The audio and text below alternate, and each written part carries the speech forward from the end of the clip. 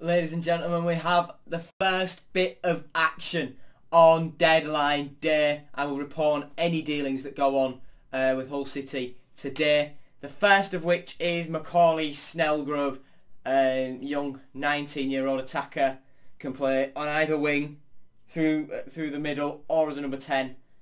Brilliant player. Um, he has gone out on loan to Northern Ireland. Uh, we'll read the statement, but he's joined Crusaders on a season-long loan, and that is the first bit of action so far on deadline day. Statement reads, forward McCauley Snelgrove has joined NIFL Premiership outfit Crusaders on a season-long loan.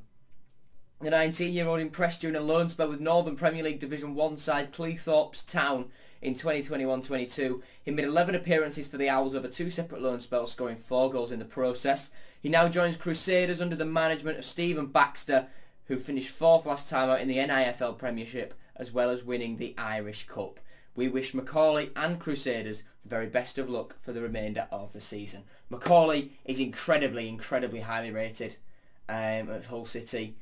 Um, lovely guy, brilliant guy and yeah, wanting to do really, really well.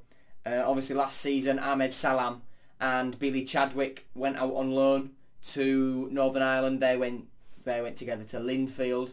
Chadwick there for for half the season initially, and then Salam for the full season. Billy's got sh uh, cut short because he did his ACL, and he's still coming back from that. I spoke to him the other day. It's going well for him, uh, and he's getting there and then obviously Ahmed left the club earlier this earlier this summer. Um, and you know, I'm Ahmed impressed in Northern Ireland. He did really well, and I'm sure. And you know, Billy made a fantastic start before his ACL injury. Um, so I'm, I mean, I'm excited to see what McCauley can do. Signed a new contract for uh, just a one-year deal.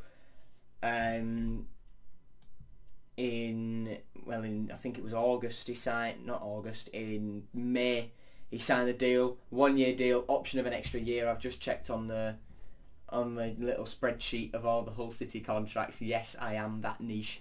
Um, yeah best of luck to McCauley and hopefully the next thing I report is a little bit of an incoming. Maybe Pelkas maybe uh, Xavier Simons maybe I mean, we have been linked with Lucas Acuna. We've been linked with Callum Styles today, which is honestly a dream. I signed him on FM on Football Manager. He was class.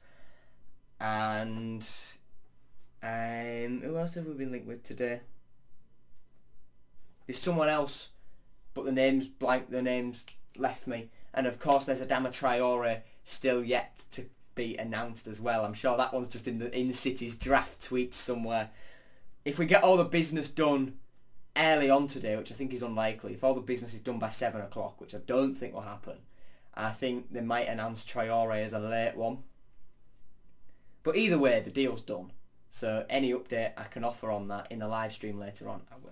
But yeah, best luck to McCauley, and I'll see you definitely later on today for one of the couple of new players that we are expected to sign.